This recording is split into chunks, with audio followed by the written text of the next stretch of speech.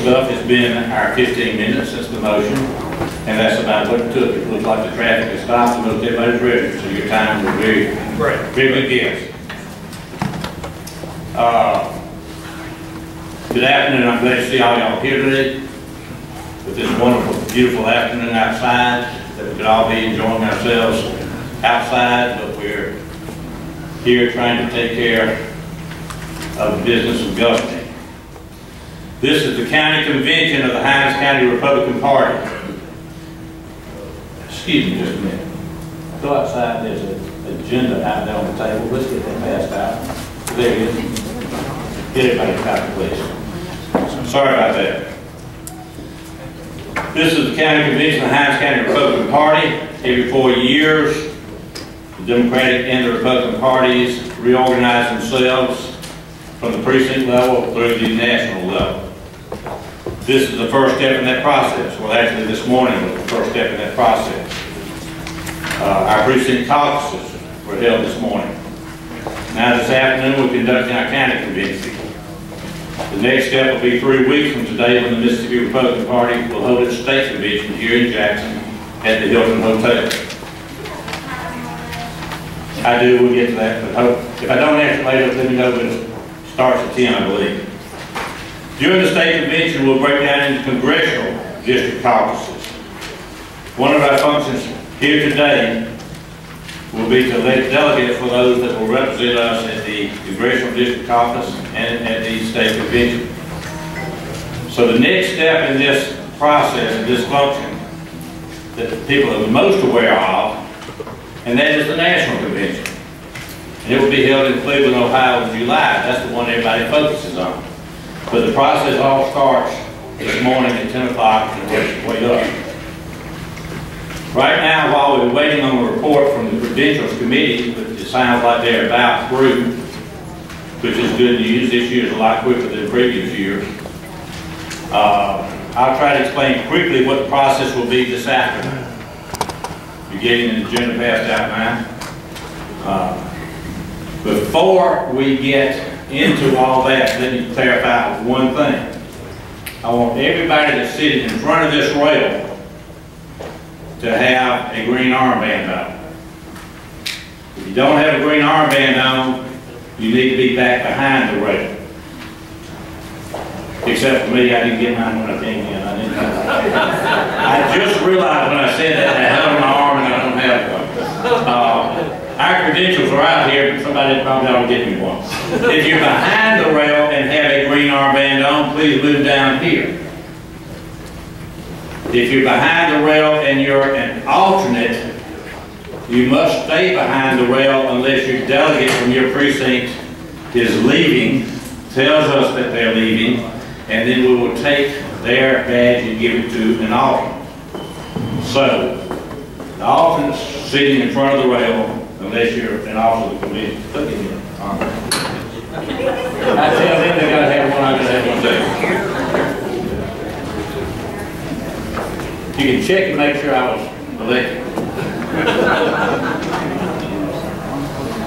So first, while we was waiting for the credential committee, which we've got to have so we know exactly how many people entitled to vote and who they are, before we can get started with the rest of the business, I want to clarify a couple of things and clear up a couple of misconceptions that may exist about this process today. While we will be electing delegates that will attend the state convention, those delegates that we elect will not affect our state's votes for the party nominee. The ones we elected this morning, in some precincts, we had people wanting people to be a delegate here to have to declare who they were for. First off, nobody in this country has to declare who they're for. I don't care if this is a nominating process, people still have the right to their secret ballot. If they want to declare, they certainly can. But we had that process some this morning, and that's not the basis of how you get here or move forward. The delegates from the National Convention are based on, the votes will be based on the results of the party primary that we held on May, that March the 8th. Our party rules require that the delegates from Mississippi to the National Convention will be cast in accordance with the results of that primary. So although through a somewhat convoluted and complicated formula that the allocation exists, that the formula exists, and that's how the delegates go. Nobody in Mississippi got more than fifty percent, so therefore they're apportioned. Only people who got more than fifteen percent get delegates. That meant it was Trump, Trump and Cruz get delegates. Then you go through the formula. Trump gets twenty-five, Cruz gets fifteen of the forty delegates from Mississippi. That requirement lasts through the convention until the delegates are released by their candidate. There are many people, and there's been a lot of information, a lot of discussion that is for the first ballot only. My reading, and it can be subject to other people's opinion, but my reading of the rules say that they're bound for the first ballot. Then if you go on down to Rule 8, it says they're bound until the candidate releases. So, it doesn't matter who we send to the National Convention, frankly, about how they're gonna vote for Trump, twenty-five of them are gonna be told to vote for Trump, and fifteen are gonna vote for Cruz. But, that doesn't change the fact that we're here today, we're all here, because, number one, we wanna beat Hillary Clinton. And, uh, thank you, thank you. And gosh knows, if we had the alternative, we'd rather beat Bernie Sanders. But, And Casey won't do it. Well, we're not here, no comments, please ma'am. Number one, if you're behind the rail, you cannot speak. Number two, if you're in front of the rail, you've got to be recognized. We're not here campaigning, we're here to take care of business. Everybody has their own opinion, thank you. We will, not going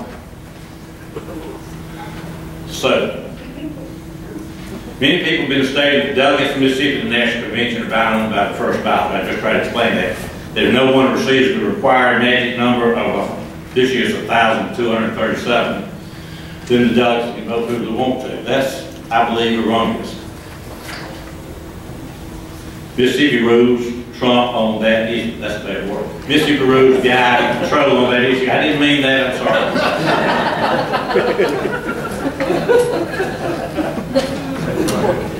All that is to say that while who we elect today is important, and I know a lot of y'all in here want to go off and go to the state convention and the national convention because you want to vote for somebody, there's a lot more steps between now and then.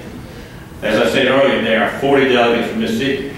Three are already chosen, the chairman, committee man, and committee woman. They go to whoever they happen to be. So we elect 37. Uh, and that process will be done at the state convention through the congressional district caucus and the state convention. One more point I'd like to explain, which is while the delegate selection process is not a stair-step procedure, one does not have to have been at the precinct caucus this morning to be a delegate to the National Convention. One didn't have to be at the precinct caucus today to be a delegate here. One does not have to be a delegate here to be a delegate to the state convention. You can come in and out at any part of that process. This isn't like a College World Series. Uh, I don't know if people from Baylor realize that they play baseball out in Omaha. That's Mississippi State fans do. You know, where you got to go from win this one, then move up and move up. So it's not a stair-step procedure. And a lot of people operate on the assumption it is. So just trying to clear up some issues here about the national. And I'm also waiting for a credentials committee report. Um, delegates to the National Convention can be elected no matter where they were in the process today, this morning, today, or next Saturday, three weeks from now. If there are any questions about this, I'll be glad to address them when we get to that stage about electing delegates. Now, if anybody's got some questions or wants to discuss it or say that what I'm saying is wrong, we'll be glad to have that discussion when we get over that stage about talking about delegates to the national, uh, to the state convention. Now I'd like to move into the actual business of this convention. I'm told that, I think, Shad, y'all ready to make a report? We got it. I'll give you about 10 seconds and have you come up here and give a report. Sure. All right, so I thought I was told that they were about ready. I see Shad, so I guess they are ready. Uh, so I want to change the agenda step and go ahead and get this report first. Oh, we can do that first. That's okay. We'll do that. Okay, we'll stick to. Let me. Let me have one, thank you. Uh, uh, For anybody that doesn't know me, I'm Pete Perry. Uh, Anybody that doesn't know why I'm the one that's sitting up here talking, because right now I am the temporary chairman of this convention. The, uh, the rules of the state party and the county party say that the, current chairman of the executive committee presides as the temporary chairman until we elect the permanent chairman of the convention, not of the executive committee, but of the convention. I'm Perry, I've been chairman of the Hinds County Republican Party here the last four years, actually the last eight, I don't know. Uh, And I will stay here until we elect the permanent chairman down on the agenda. Uh, Right now, I want to ask that we have Brother Jeremiah Robinson, who is a delegate from the Road Park Precinct, I believe, uh, come up here and lead us in an invocation. While he's coming, I'm going to ask Linda Wilson, if you would, move on down front and join me on the stage. Wherever you, is Linda out front? Yes. Go tell, go, there she is, okay, she's here. She's here. Uh, Jeremiah is coming up here. Would y'all all please rise? I'm going to ask you to remain standing after the invocation while Linda comes up here. Who's the Linda is the current president of the Hinds County Republican Women, and she's going to lead us in the pledge of allegiance. So, Brother Robinson, it's yours. Let us bow our heads. Father, we thank you for all these who have assembled together to take care of your business, as businessmen and women called by you to attend this caucus. And Lord, we ask that you guide us and lead us and direct us in the way we should go. And Lord, hold nothing against us as we make our decision. Be guided by your Spirit. And we ask that we bless each and every one that come today. In Jesus' name, amen.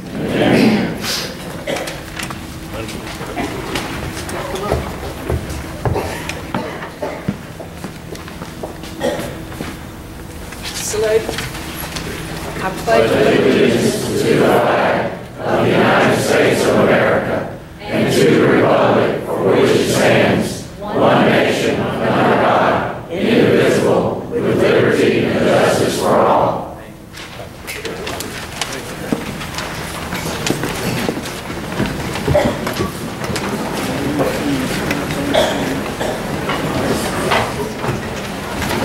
Thank you, Brother Robinson, for your invitation and Linda for helping us remember why we're all here today as we celebrate our democratic republic that we all hold so dear.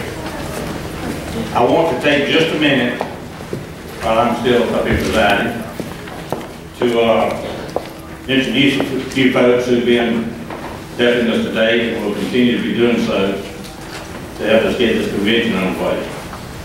Uh, We won't thank Jackson State for moving its graduation to today and changing it to three o'clock and causing traffic jam for everybody else. We- We appreciate it. Registration process that was going on out front was done to a large part by several different people. Uh, I don't even know that I know everybody was involved in it. Uh, Lynn Wilson, Rose and Bill were out there, Brian Perry, we had a couple of TRs, uh, um, teenage Republicans, I didn't think about it, college Republicans. Over the last couple of years here in Mississippi, the college Republican organization has grown and gotten big and much more active than it has been in a long time. It's got a large membership, more chapters, a lot of chapters community colleges we hadn't had. Uh, They've also created an amazing number of teenage Republican chapters around and about. Uh, Hunter Foster is the current president of the teenage, of the college Republicans. He's not here today because he's in his home county, Lincoln County, with doing his county convention down there, but he's in there. Oh, we do have the president of the Millsaps chapter here with us, and I found out today, the fraternity brother, glad we met there, so, uh, uh, some other special people. You saw earlier Linda Wilson, who is a delegate from precinct 16, that she led us in the pledge of allegiance. And as I commented at the time, she's the current president of the Hinds County Republican Women. We also have here somewhere in Royston, over here, and Mary Nell Collins down here, who have been the other presidents over this last four years since our last convention. And we'll probably have some more other past presidents in here, but I know at least over the last four years have been the presidents of, of the, of the Republican women. Um, I got a special group I'd like to thank, and it's everybody in this room that's been a poll worker for the Republican Party in our primaries.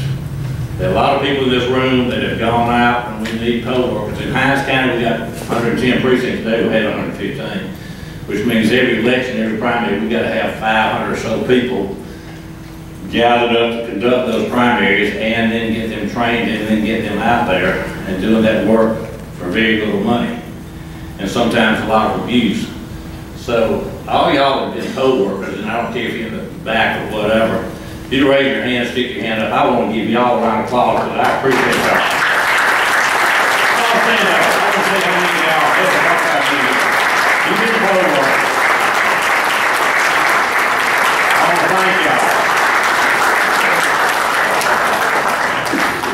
To that's important because that's one of the jobs, being the county party, we have to put on the primary, we can't do it without a whole bunch of people like this. So I want to thank y'all for that. Uh, We got hundred and ten precincts, they go from Cayuga down to the southwest to Pocahontas in the northwest, and to precinct seventy-eight over northeast, to Terry down in the southeast. And they're scattered in between, that's about sixty miles across, no matter which way you drive it. And it takes a lot of folks to do it. Also, in the convention day, there's several people that have been willing to work in other ways, and some important people that we have around. It's, the first time in a long time, we have here in our county as the voter, the governor, who cannot be here with us today, he's out of town, but Phil Bryant, who votes right up the street at the Eudora Welty Library Precinct One. Secretary of State Delbert don't think is in the room, his son is, but, uh, I, I think he is not here today, but of course, he's been a Hinds County resident forever.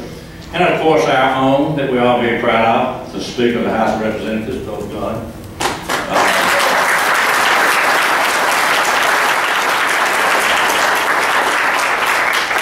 Who is here today as a delegate from Pine Haven precinct, thank you. Uh, we're glad to have you with us, and we're glad you sent your members home. Yes, me too.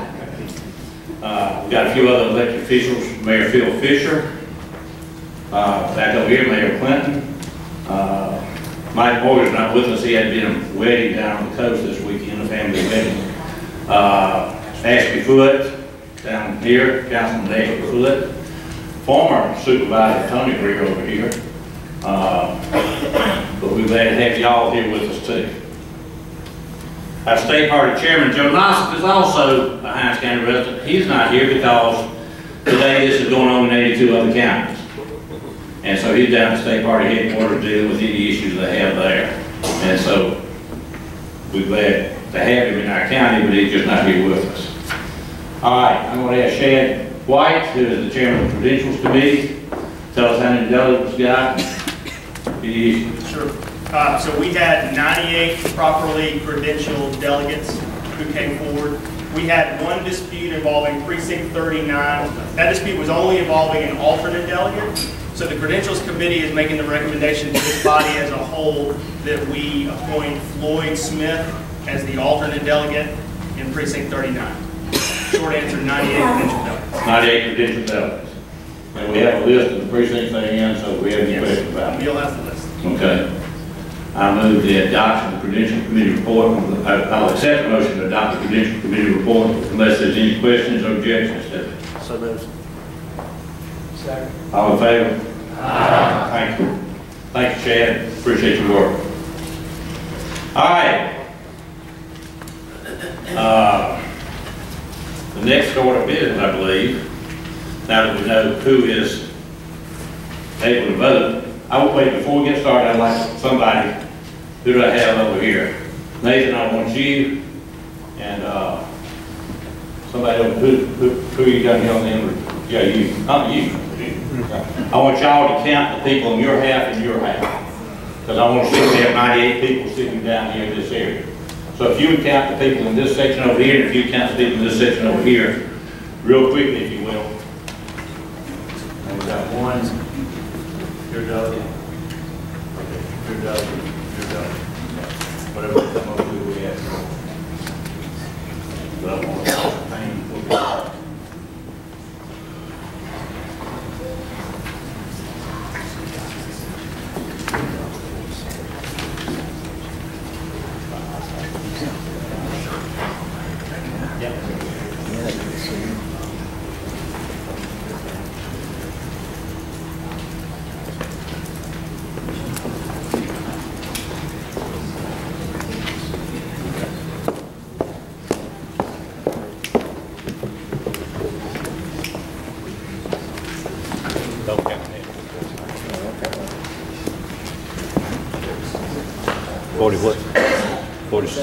47, not counting.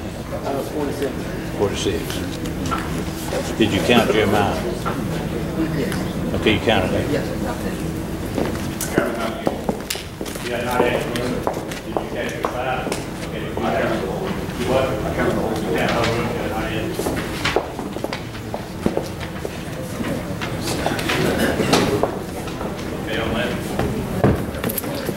Okay, it looks like we're approved. Let me tell y'all, now that all this out of the way, we'll get the business convention real quick. I hope we get through this and out of here real quick, so I'll go home and mow our yards, run, uh, rain later. First order of business, we are supposed to elect a permanent chairman of the convention. That person presides from now until we adjourn today. That is not the chairman of the party. It's the chairman of the convention. Mr. Chairman, Yes. I'd like to nominate Mr. Philip Gunn. Okay, there's nomination for Philip Gunn. Second. Second. Mr. Chairman, Mr. Foote, I'd like to nominate uh, Pete Perry. okay? I second the nomination. All right. No Move to other, close the nomination. no, okay. Second. no other, wait, no other nominations, and we'll move on then.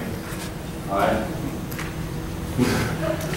What do you, Well, you, about? no, I, I just, I appreciate the nomination very much. Uh, I'm, I'm serving as a parliamentarian and, and I'm not sure that, uh, that I understand all of the procedures Pete does, so I, I, I'll gladly defer to the will of the group, but I think Pete's probably more prepared to do it than I am.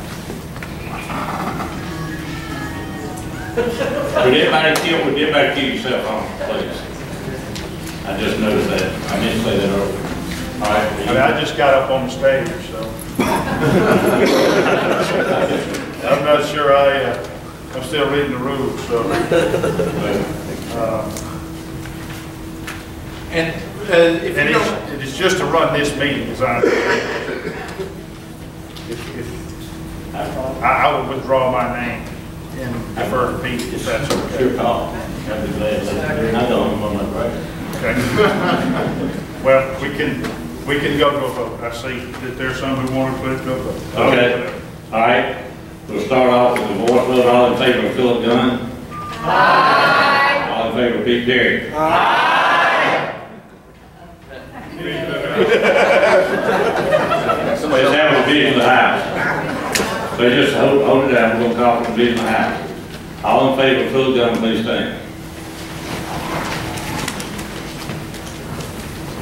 I'm gonna ask Nathan, uh, Ed, you two come over here in town. All right, uh, Chad, when I point at you or Shad points at you, sit down, please.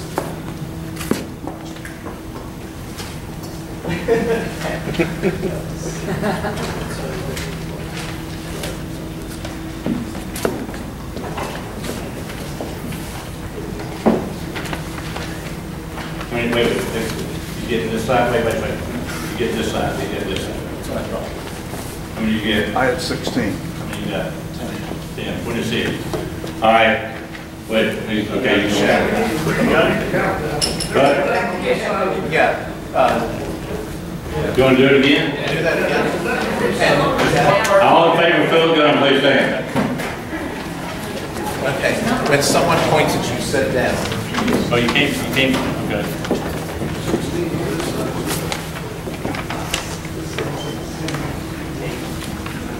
Fifteen,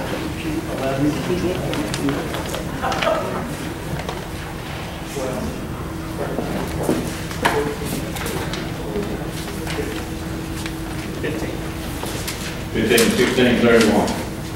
All in favor Pete Perry, please say.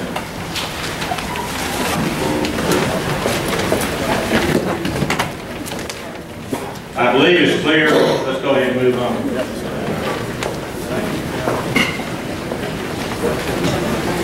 Mr. Speaking.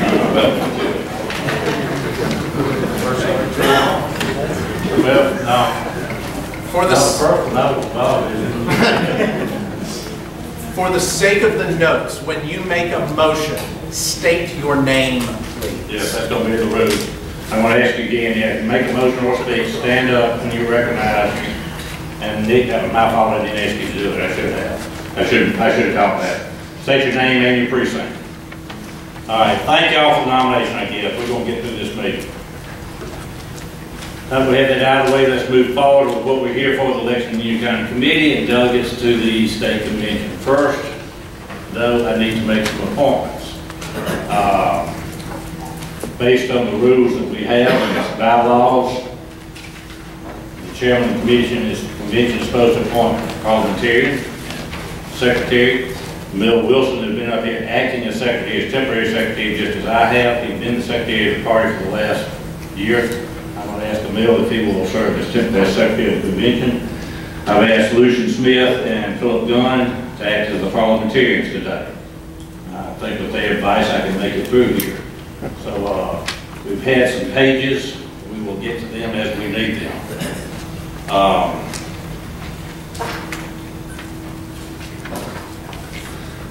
All right, next order of business is adoption of the rules. Lucian Smith has been the chairman of the Rules Committee. I'm gonna let him bring forth the rules. We're gonna pass out a copy of these. Lucian, I'll get that passed out. Uh, I'll get them to pass it out. But, uh,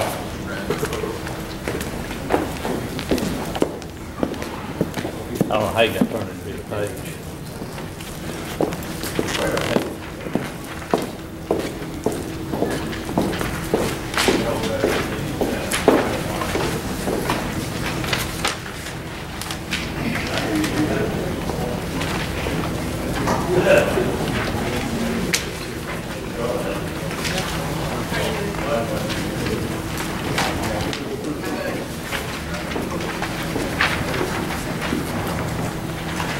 Uh, Mr. Chairman, the uh, Rules Committee met at 2:30 today, to consider the rules uh, for the, uh, for the convention.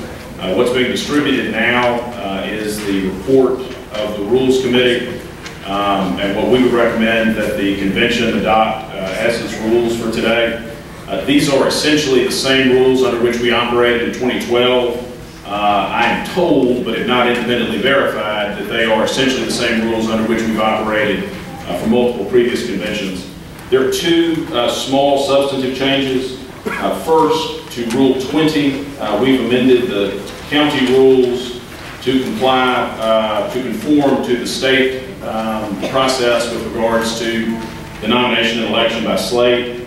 And we have amended Rule 3 to delete reference uh, to a platform committee. Uh, We have not, although it's been in the rules of the convention, have not generally adopted a county-specific platform, uh, but rather have by custom uh, used the platform of the state Republican uh, Party, and so we didn't think that it was necessary to have in the rules a platform convention. Uh, Mr. Chairman, that being an explanation of the Rules Committee report, uh, by direction of the committee, uh, I move the adoption of the report as the standing rules of the convention. Thank you, Lucian. I'm going to ask for a second. Second. Is there any question or discussion? I'll sit down until we get to the page. All right, I see a hand behind you, that's it. Okay, I'm Bonnie Smith from District Precinct 96. wait, hold on one second. Bonnie Smith from precinct, Sonia. Sonia Smith from precinct 96. I've been asked by the people in the back to repeat. five minutes to read first? Yes. Second. Well, we got some, wait, wait, wait, hold on a minute.